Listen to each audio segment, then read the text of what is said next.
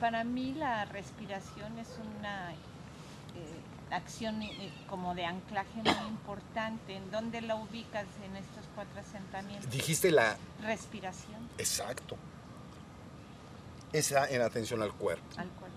Sí, entonces atención al cuerpo, no, una de las prácticas también en Oriente más usadas, Susokukan es lo que tú estás diciendo.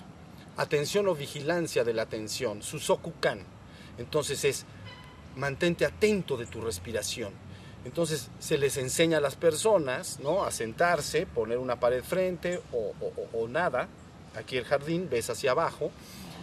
Llevas tu atención a la punta de la nariz y al labio superior. Eso lo hemos platicado y hecho muchas veces acá. Y entonces tu atención vigila de cerca el aire que suave y dulcemente entra por tu nariz. ¿Ya viste? Es una atención al cuerpo.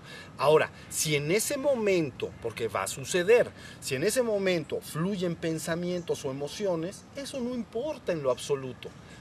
Yo sigo atento del aire que entra y sale por la nariz. De hecho, pueden aparecer emociones, mm. pensamientos, imágenes, pero el secreto está en que yo quedo anclado en la respiración.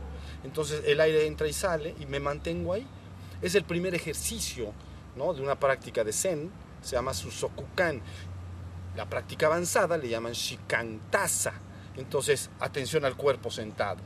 ¿Ya vieron? Está facilito. Es una práctica muy austera, pero muy, muy poderosa. Porque a las personas se les... No hay teoría, ¿entienden? Por ejemplo, el Zen japonés no, no, no, no, estudian los sutras, los sermones de Buda, no se interesan en la teoría, en cuestiones mentales, ni en entender nada se llama transmisión de corazón a corazón, de maestro a discípulo. Entonces se transmite la vivencia inmediata. Dice, quita todos los sutras, olvídate de todas las lecturas, haz su sokukan, presta atención a tu respiración, haz shikamtasa, ¿ok? Estate atento del cuerpo sentado. Hay una práctica avanzada que se llama el más puro shikamtasa, si ustedes quieren llamarlo así ya ni siquiera estoy nada más atento al cuerpo, estoy atento a todo fuera y dentro de mí. Ese es el estado despierto, precioso. ¿Sí se entiende?